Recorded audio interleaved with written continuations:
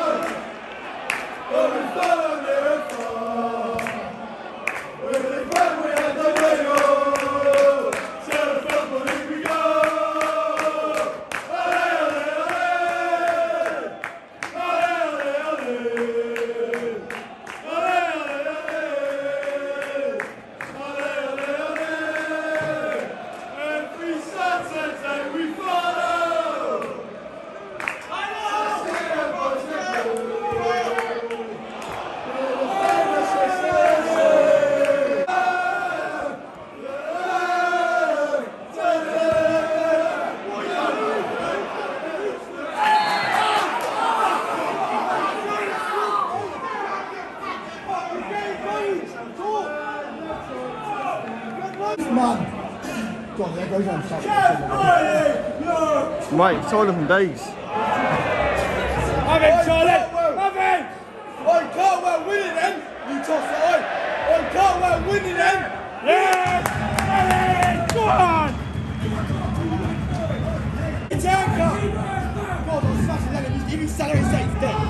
Oh, he's dead. He celebrates that. I win it, no, no. Toss up. Oh god. You.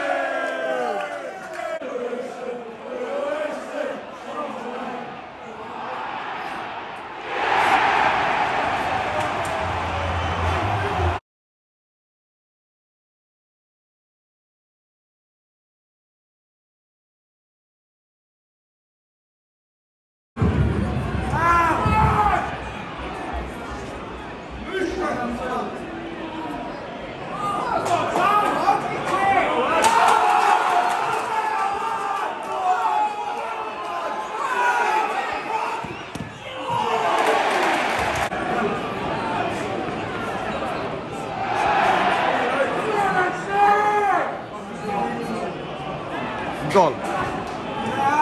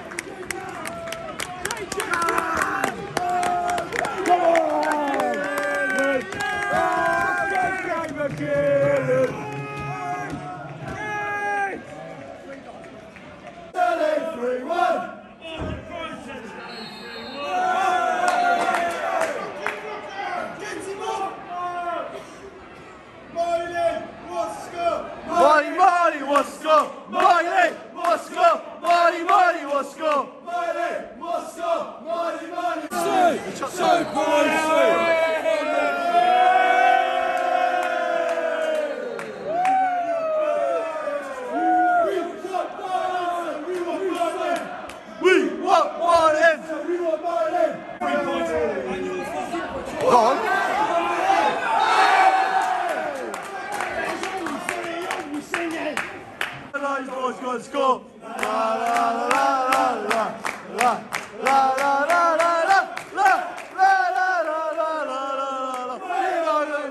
let's go, let's go.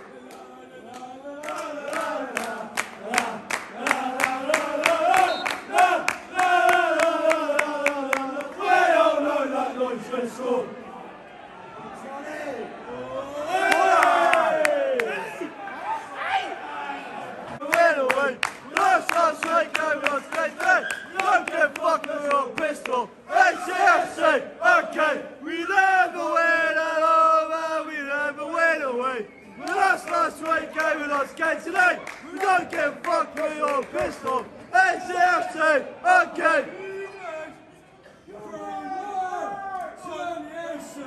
Three say three one. Yeah!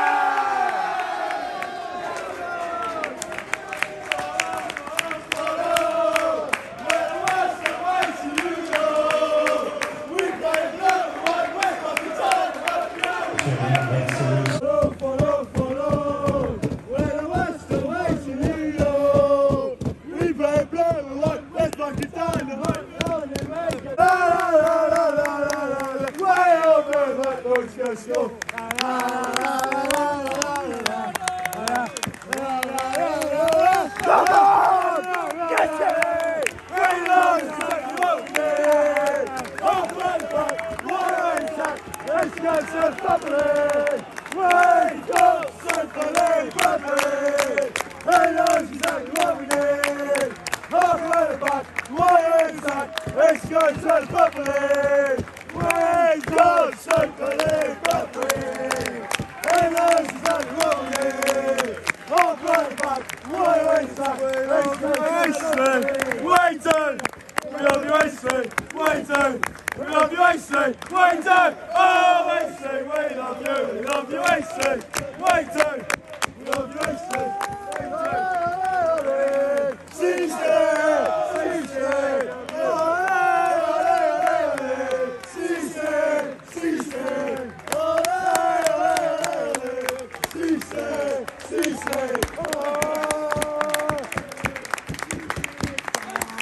There you go, it's the end of the vlog. What a win. A 3-1 win away from home. I could say for the first 10 minutes of the game, we didn't go out as the strongest side out of the two. But eventually, we grew into the game. Our first goal. Obviously, poor goalkeeping from the Southend keeper. Comes out, trying to catch the ball. He misjudges it. Lands to Charlie Carter. Either Carter had the shot or either squared it back in and obviously Alfie got the last touch and he went in. We took that into the break, a 1-0 up, into the second half with a Charlie Carter goal. It was a poor defending from the Southend team. It was a throw-in, ball comes in, obviously the Southend defending trying to head it clear, lands, hits another Southend player, then Charlie Carr obviously nudges the ball and then goalkeeper went yet again, obviously made it 2-0. Southend grew into the game and managed to get the goal, which obviously was disappointing from our point of view, obviously defending wise. Our third goal, JJ McKinnon comes off the bench he manages to get the goal. Obviously, yet again, another poor goalkeeping from the Southend keeper. In this game, obviously, I think he cost him Southend the game. Three mistakes he's done in that game, and it cost him the three, the three goals.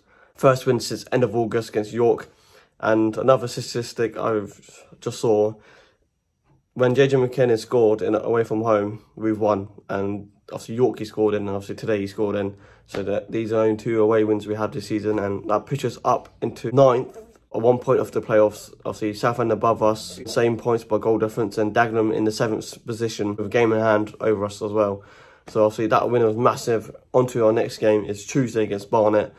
See, Barnet won 3 0 against Chesterfield today. So, obviously, going to that game with a home form, hopefully, we can get the three points and obviously push towards a playoff push if possible, if the team wants it. But yeah, if you obviously join this vlog, give it a like, subscribe if you're new, and I'll see you on Tuesday night.